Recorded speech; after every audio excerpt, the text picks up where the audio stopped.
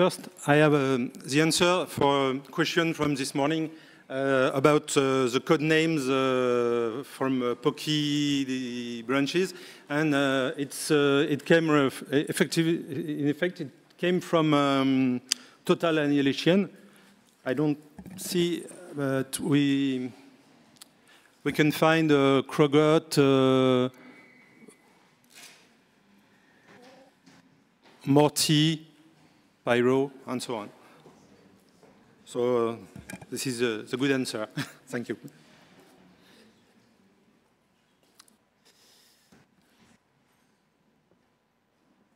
Whoop.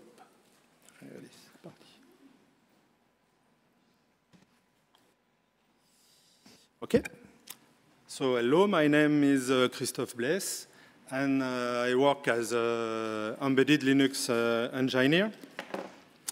I would like to present you um, a small project that I started uh, a few months ago.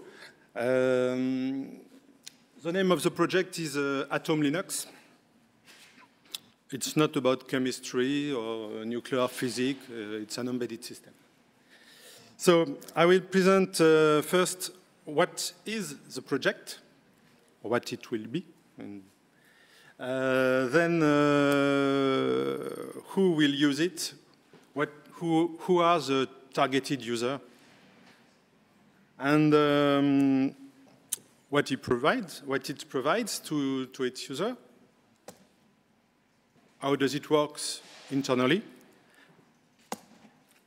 what is already done, not so much, and uh, finally, what are the next steps, and how you can contribute if you're interested in this project. So what is uh, the Atom Linux project? First, it's an open source project. Uh, all the files uh, are and will be on, uh, available, uh, freely available uh, on, on, GitHub. the idea is to have a, a distribution, a binary distribution, but embedded oriented for the embedded uh, systems. Truly embedded system, really um, uh, oriented for, for this kind of uh, application. So uh, we have to, to focus on two main things. First, it has to be really easy to use. We will see in the next slide uh, who has user. Um, for them, it's very important that uh, the system is easy to use. When I talk about the user, I do not talk about the end user of the embedded product, but the people who will build the embedded product. Second, the system has to be, I would like to, to have an industrial quality system with update system, security, and so on. So uh, first, who, are, who needs this project? I do um, a lot of uh, embedded Linux engineering and uh, a lot of training courses about uh, embedded Linux. I do about uh, 20 sessions a year. And um, with uh, six to 12 people each, each time. So I see about uh, 150 people a year that are interested in embedded Linux. I've I find in, found in this uh, in, in, these people um, some of them that have some specific aspect, not all of them, but some of them uh, may be interested in this project and may need to, to, to, to have a, a, this kind of project. First, they come from small companies. In these companies, there is uh, one guy who, who, has to, to deal with uh, hardware uh, pr problem, with software problem, with uh, release, with uh, update of the system, and it can't do everything. Second, they have an embedded Linux project. They really have a project. Some of them are very interesting. Some of them are stupid, but there are uh, interesting, uh, interesting uh, embedded projects. And um, they want to, to build it with Linux. But they have a poor knowledge about embedded Linux.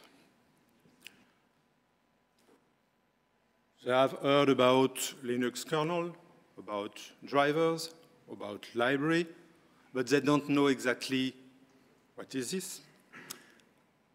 Sometimes they have heard about Yocto or Buildroot, but they don't know how to use it. And they are not very interested in Linux internals. They want to build their system to use Linux and to release it.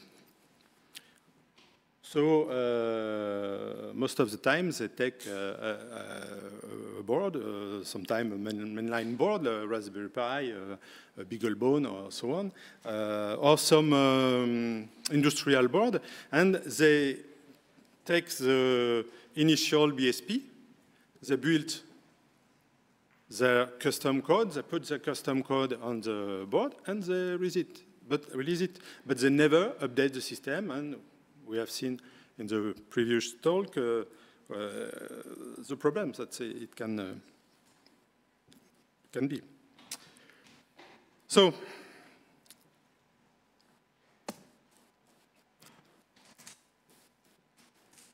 what does Atom Linux provide?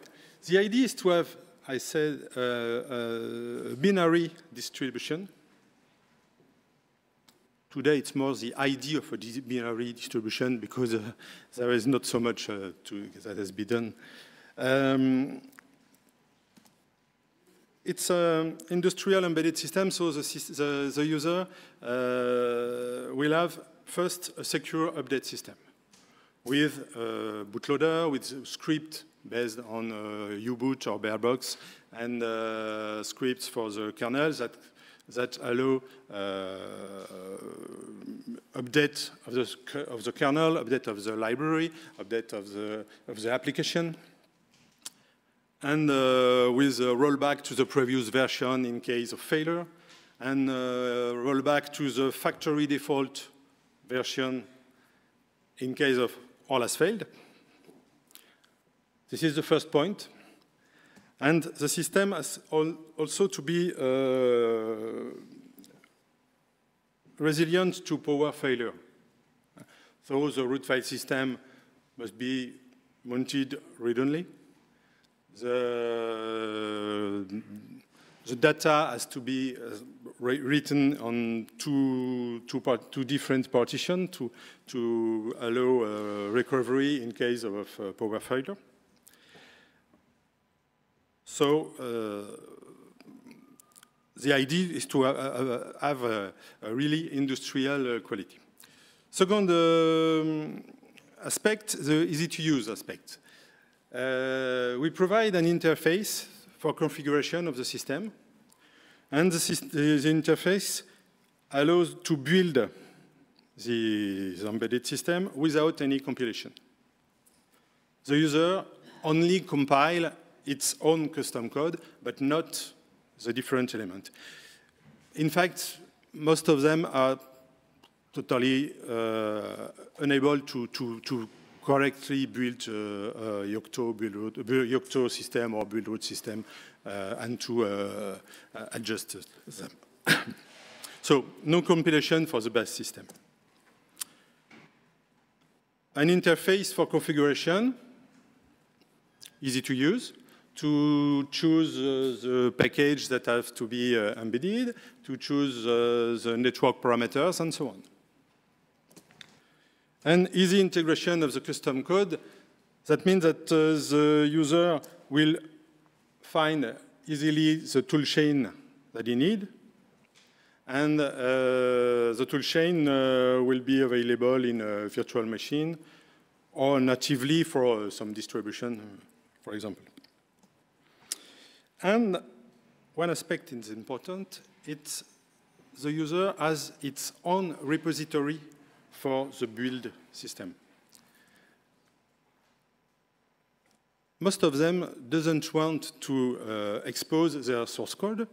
So they, they want to only uh, provide to their users, to their customers, uh, a repository for the update system.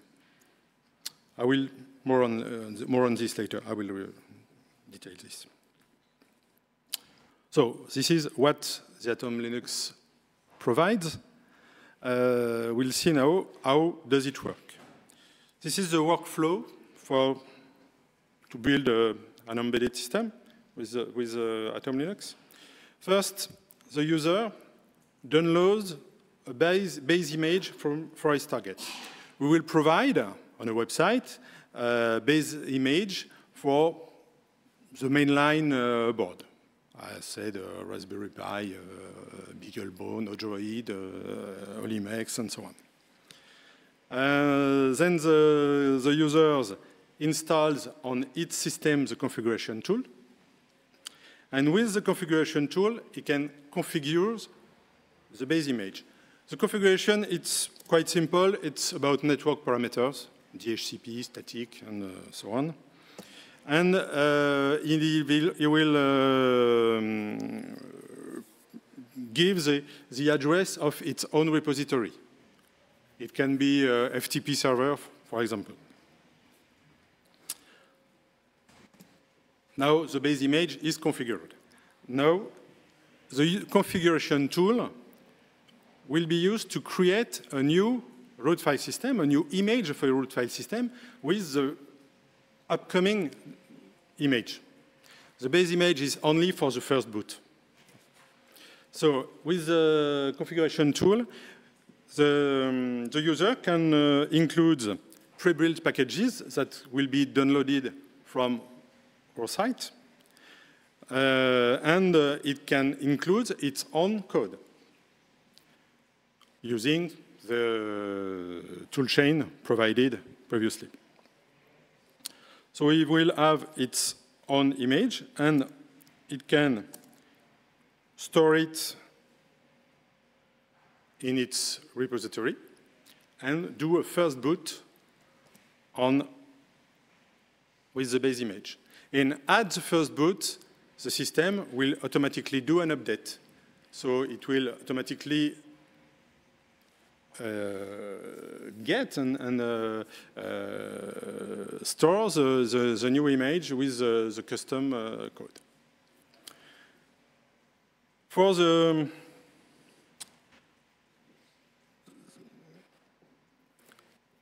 the update of the kernel, of the library, of the packages. Um, we will provide pre-built package regularly. I think it could be the two version of year, two version a year uh, with, uh, as this as uh, um, Yocto uh, it's, it's maybe sufficient for a beginning. And um, so there will be a, an automatic up, uh, update of the user's repository and an automatic update of its system uh, at uh, the next uh, reboot.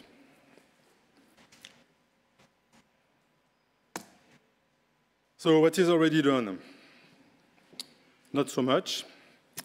Uh, the best system image builder works, but I'm not very satisfied with it. Uh, we can build a base image using, uh, it uses um, uh, buildroot uh, and crosstool-ng uh, script to, to build the, the, the first base image.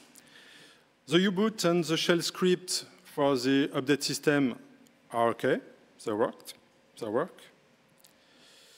The configuration tool exists, but it's very ugly.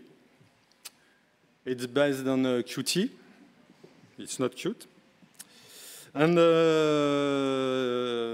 it, uh, can, can do the, the configuration of the first base image but it's So what are the next steps?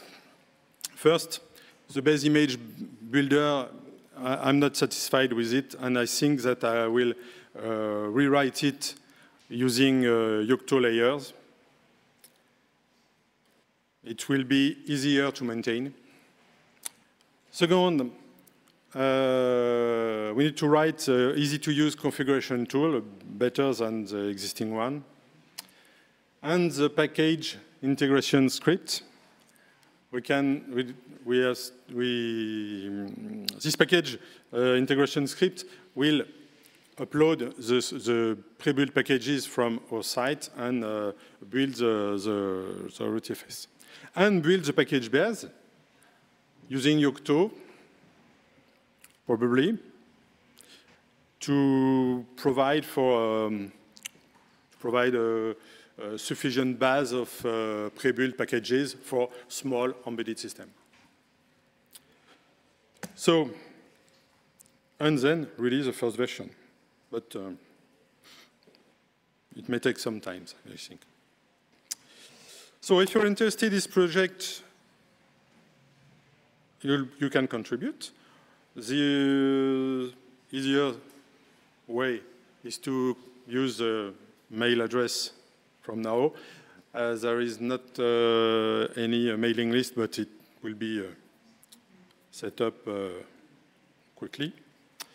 There are um, embedded oriented, oriented tasks. For example, for example, uh, write some scripts.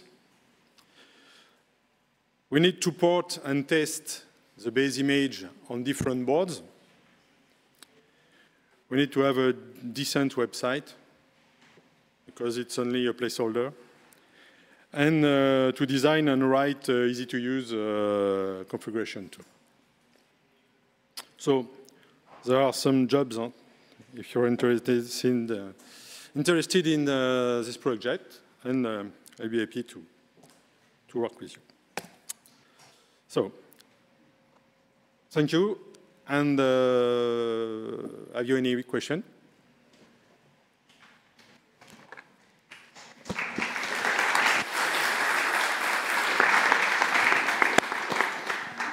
Yes. Um, I'm not very clear. How does a customer uh, use uh, customizes your distro for his hardware? Or is it out of the scope of Atom Linux? It's out of the scope because uh, in, in, in it's, it's oriented for mainline board mm -hmm. for first time. And it can be an, an engineering task to, to port the, the, the base image uh, on its, uh, its custom board. But for the first version, it will be only on mainline board. Hopefully, Yocto layers might help with that, but... Yes, with Yocto layers.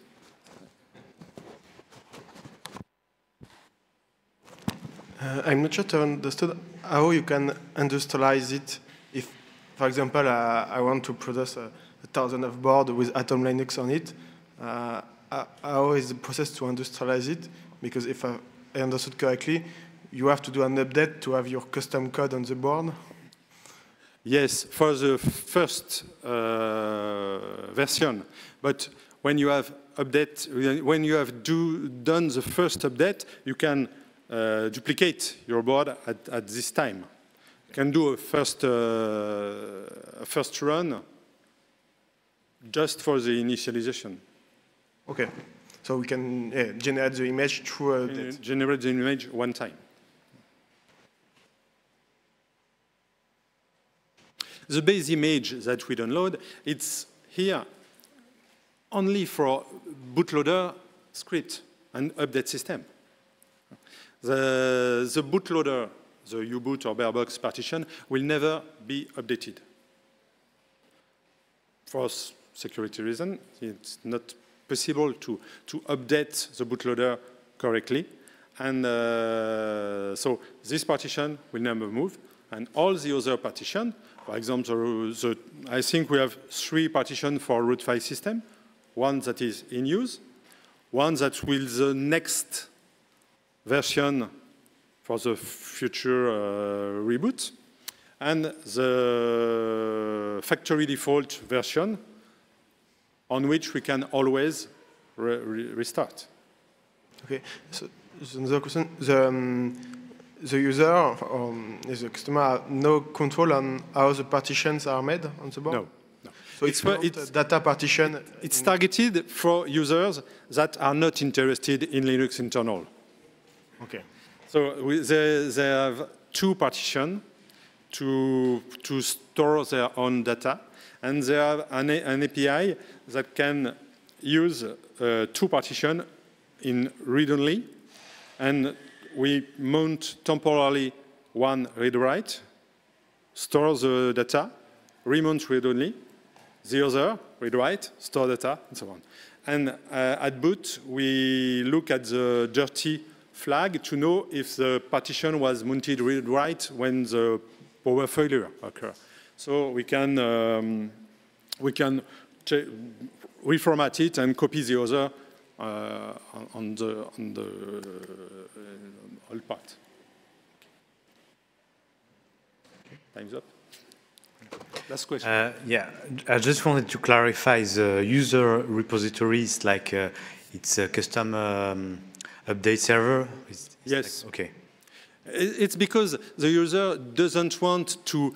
The, the, the easier possibility will, to, will be to have a repository on the Atom Linux server with all the image. But the user doesn't want to send us its code to compile it and to integrate in the, in the, in the image.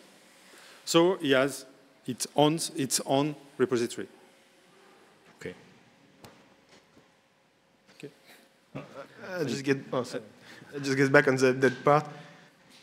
Instead of flashing a board and doing an update, can't you just run the base image on a, on a VM, do the update, and just have the Yes, you can use, we can use uh, virtualis uh, virtualization mm, step, but maybe complicated, I think, to, to set up. Okay? Thank you.